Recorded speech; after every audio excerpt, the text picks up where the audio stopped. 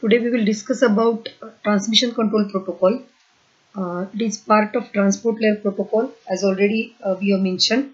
It is connection oriented reliable protocol. It lies between application layer and network layer and serves as intermediary uh, protocol between these two. It provides way for application to send encapsulated IP packet by establishing connection. It uses flow and error control mechanism in the transport layer. It helps in process to process communication. It uses port numbers to accomplish this task. It is a full duplex protocol. Then it also implements congestion control mechanism uh, specifically designed to provide reliable end-to-end -end delivery of data over an unreliable internet connection. It was designed dynamically uh, to uh, adapt dynamically properties of the network and uh, to face many kinds of failures uh, which are not handled in case of UDP. The IP layer gives no guarantee that datagrams will be delivered properly. So by using the timeout mechanism, the lost packets are detected and then retransmitted with the help of TCP. The datagrams may arrive in the wrong order, so it is up to TCP to reassemble them into messages in the proper sequence. So number of these activities are carried out uh, by this particular protocol. As a part of objective, uh, we will understand about TCP services, TCP features, uh, segment and TCP connection. So as I mentioned, it is a connection oriented protocol and creates virtual connection between two TCPs to send data. In addition, TCP uses flow and error control mechanism transport layer. Now first of all, uh, this is a list of well-known ports uh, which are used by TCP. Uh, similarly, we have mentioned uh, such well-known ports uh, in case of UDP also. So same fashion, here is port number 7, echo, echoes received datagram back to sender, 9 is a discard, then discards the datagram, then 11 users, active users, 13 daytime, 17 uh, quote of the day, so it returns quote of the day, then 19 it is character generation, so return string of character. Then 20 is FTP and data. 21 is FTP and control. So separately. Then 23 is telnet terminal network. 25 SMTP simple mail transfer protocol. 53 is DNS. Then 67 BOOTP. 79 is finger. 80 is HTTP and 111 is RPC that is remote procedure code. Now uh, there are number of uh, say services provided by TCP. So first service primos service is uh, it is basically a stream oriented protocol. So it allows sending and receiving process to send and accept data as a stream of bytes. Tcp creates an environment in which an imaginary tube as if it is shown here which is carrying stream of bytes in the figure you can see so is used uh, and this tube is going to carry the data across the internet. Uh, this particular figure is showing the simplest view of this particular uh, type of delivery which is uh, supported by TCP. Then uh, the second form of delivery is it is using uh, like sending and receiving buffers. So in the bu buffer form, so uh, here what uh, it is providing is you can see in the figure the movement of data in the particular direction is shown and at the sending side if you can see there are three types of say parts uh, or we can partitions we can see. So the white section is uh, empty chamber and that can be filled by sending process. Then the somewhat gray area. So there are some slots. So that is going to hold bytes that have been sent but not acknowledged. And uh, then the rest of the part is actually not sent. So in the three colors it is shown and at the receiving side uh, similarly the circular buffer is divided again in two areas only. There the white color and the um, somewhat pink color. So white color is showing that uh, it is uh, just the part where uh, it is not red um, and uh, the, that contains the empty cham chamber and to be filled by bytes received from the network. And the colored section contains received bytes that can be read by receiving process. So when a byte is read by receiving process, the chamber is recycled and added to the pool of empty chamber. So it goes on uh, in a rotating fashion, it will proceed. So this is a pictorial view that is uh, from sending process to receiving process and the mechanism is in general named as sending and receiving buffers. Then uh, the third one is in the form of TCP segment. You can see here also uh, same fashion. There are two parts. Uh, the kind of a circular chamber is shown or as a we can partitioned area we can uh, call. Uh, part is white then pink and then then gray part and in the other side also not read portion and uh, received one. So the space provided. So here also uh, the in the form of say we can call in the form of segments uh, the data is uh, sent the groups of say we can call bytes and uh, they are nothing but the segments. So TCP adds a header to each segment for control purpose and delivers the segment to the IP layer for transmission. The segments are encapsulated in the IP datagram and transmitted uh, as if this operation is in the same way. The only thing is that in the form of segments one by one uh, it is sent and um, that is forming the group. The bytes of data being transferred in each connection are numbered by TCP. The numbering starts with randomly generated number. So here for, for example uh, there may be a sequence number. This is just a small example where segment 1, segment 2, segment 3 serially we can give the numbers. The number is for segment 1 it is 10001 and here the range is mentioned say 10001 to 11000 likewise then for segment 2 then segment 3 and so on like for segment 5 the number is 14001 and up to 15000 so this way some sort of sequence sequencing can be done. Then the value of the sequence number field of the segment defines the number of first data byte contained in that segment. So this is to be taken care. The value of the acknowledgement field in the segment defines the number of next byte uh, it is uh, expected and the acknowledgement number is cumulative. So same fashion the way it is uh, done in inclusive acknowledgement piggybacking. So similarly it is done. So the one which is expected that particular number will be mentioned uh, as a receive sequence number and that is giving the idea about how much has been received.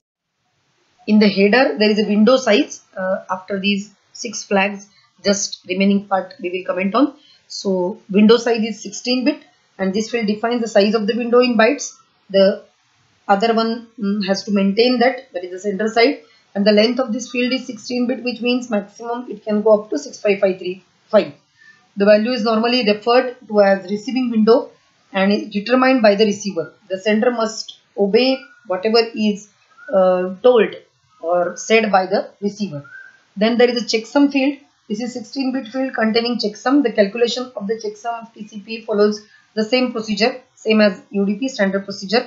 Uh, later on, we will have a small video on checksum calculation also, especially for this transport layer purpose. Then the inclusion of the checksum in UDP is optional, but here it is mandatory. In case of TCP, you can't avoid that. And uh, pseudo header serving the same purpose is added to the segment. For a TCP pseudoheader also the same thing. The value of protocol field is 6 and the urgent pointer is a 16 bit field which is valid only if the urgent flag is set. So which is part of control flag that is URG. If it is 1 then only this particular is valid is used when segment contains urgent data. It defines a number that must be added to the sequence number to obtain the number of the last urgent byte in the data section of the segment. Then options so there are uh, 40 uh, that is a 40 byte uh, optional information in the TCP header. So you can add that particular. Then as far as these flags we mentioned and the meaning also we stated as URG, SEK, PSH, RST, sync and FIN.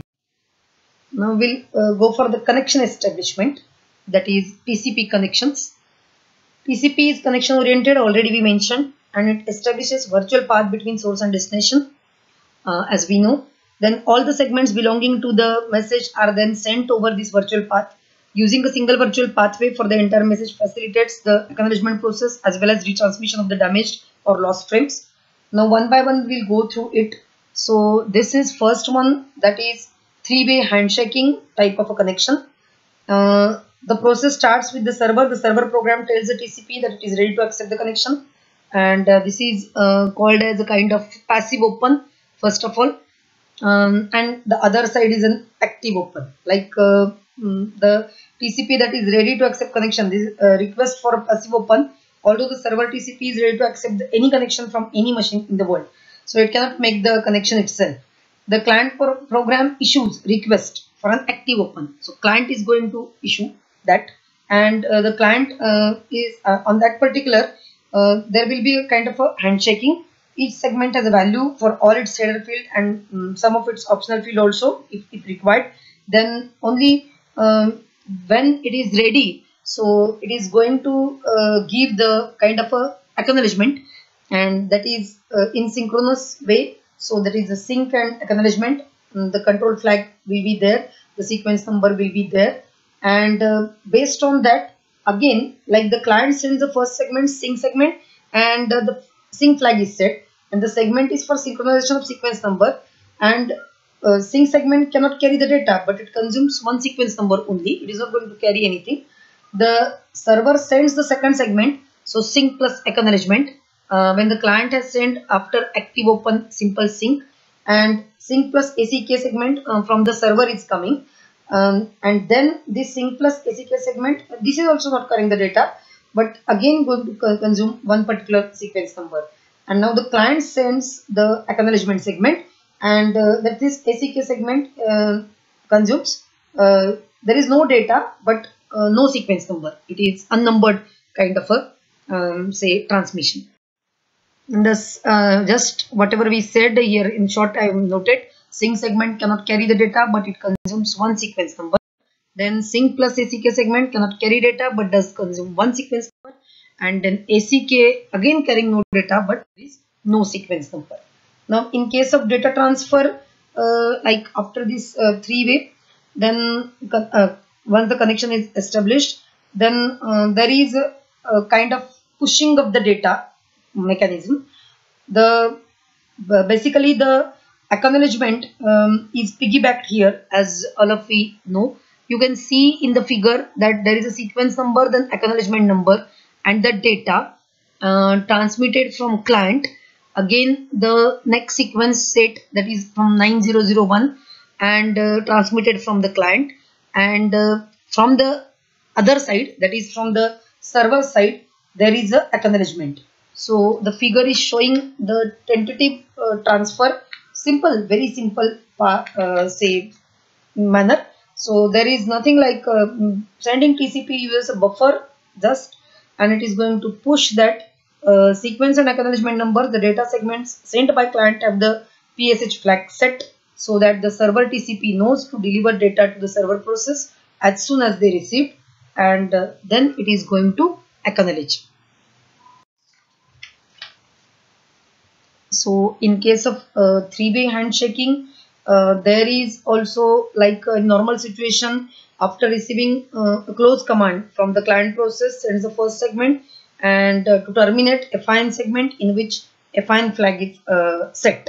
So here the figure shows the mechanism like uh, in from client active close then based on that server is giving passive close so a fine plus acknowledgement and again client is uh, going to acknowledge whatever server has done. So this is very important. The affine segment consumes one sequence number here, but it is also not going to carry any data.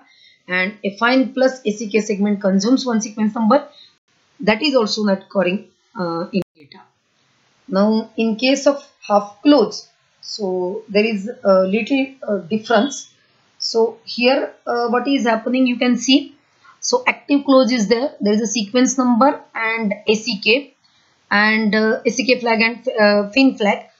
Then server is going to respond uh, to that and uh, that is again sequence number y minus 1 acknowledgement x plus 1 and ACK data segments from server to client and acknowledgements again from client to server. So is a kind of uh, windowing and uh, one by one it is uh, going to send that. So whatever is uh, actively client is doing uh, as an active close action so for that server is replying in the form of passive close. And uh, again it is uh, client is going to send the acknowledgement. Half close in TCP one end can stop sending data while still receiving data. That is called as half close means from one end it is going to stop but the other end is ready. It is going to keep itself ready. So here the client half closes the connection by sending a fine. The server accepts half close by sending a ACK the data transfer from the client to server stops. The server however can still send data. When the server has sent all processed data it sends a fine segment which is acknowledged by the ACK from the client. So this is what exactly happens.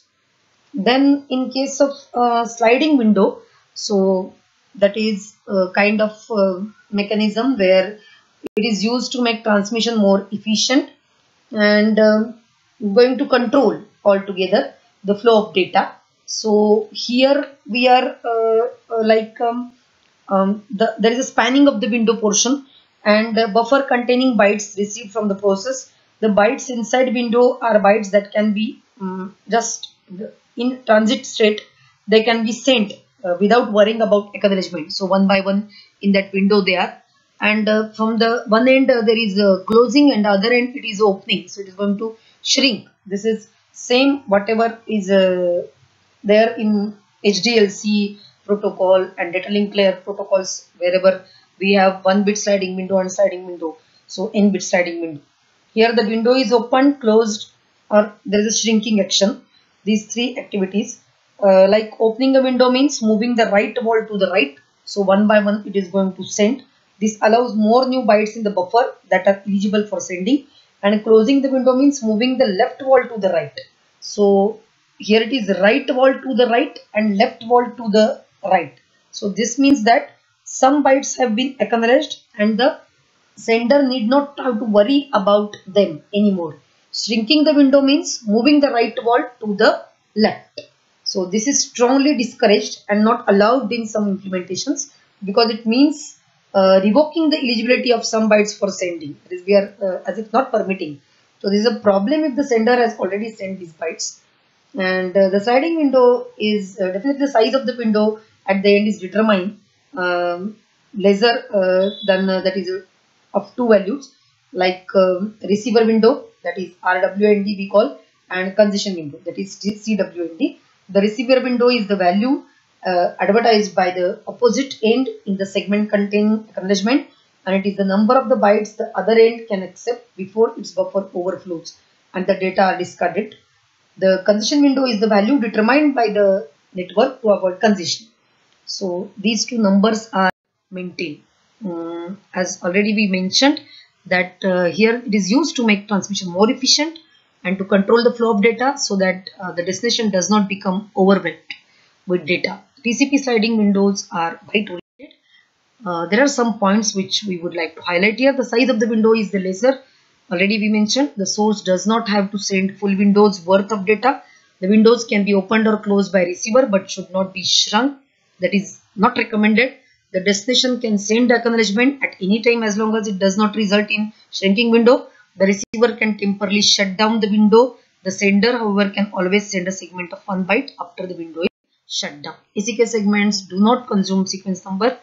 They are not acknowledged. In modern implementations, retransmission occurs if the retransmission timer expires or three duplicate ACK segments arrived. No retransmission timer is set for ACK segment. Uh, data may arrive out of order and temporarily stored by the receiving TCP, but TCP guarantees that no out of order segment is deleted to the process. In case of normal operation, simple one, there will be a sequence number and uh, just the TCP sends one segment, the server TCP sends three, say for example, and uh, the, the figure is just as, as showing that when client receives the first segment from the server, it does not have any more data to send it sends only ACK segment. However, the acknowledgement needs to be delayed uh, by some. So maybe a few milliseconds timeout like on the figure there is it has been shown as 500 milliseconds. Then um, again the server will continue again from 5001 to 6000 and acknowledgement is given for the previous one and uh, some timeout may be there and again it will uh, look for the particular uh, state So the server is continuing and uh, here uh, it may continue with some long segments also. There is uh, no need like uh, it, it may be when the next segment arrives another acknowledgement timer is set uh, one by one it will continue. And in case of long segments actually here a long segment and a corrupted segments are treated in the same fashion as if. So we are assuming that uh, the center segment 1 and uh, 2 which are acknowledged immediately by ACK then again segments uh, sequence number say third set and uh, in between there is something lost. Then again something is uh, like that that is out of order. So again resent so this kind of a thing in it is carried out. The receiver TCP delivers only ordered data to be for the processing purpose so therefore it will look after. In that timeout it should happen. So this is a general pictorial view. Some of the sample um, say sequence numbers and the data transmission is shown here. The receiver um, is going to deliver ordered data. Is very very important. And in case of fast transmission um, when the receiver receives the say for example fourth fifth six segments and continues it triggers an acknowledgement and the sender receiver uh, receives four acknowledgements with the same value. Like here you can see. And uh, the although the timer for segment 3 has not uh, yet completed uh, its timeout then the then in that case uh, it is expecting all these acknowledgements to be uh, resent immediately. So again they are resent.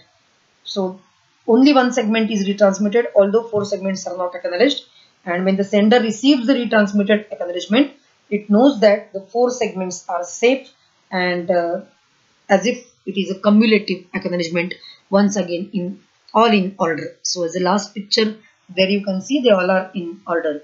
Uh, here we uh, we are like uh, using a fast transmission kind of a, a mechanism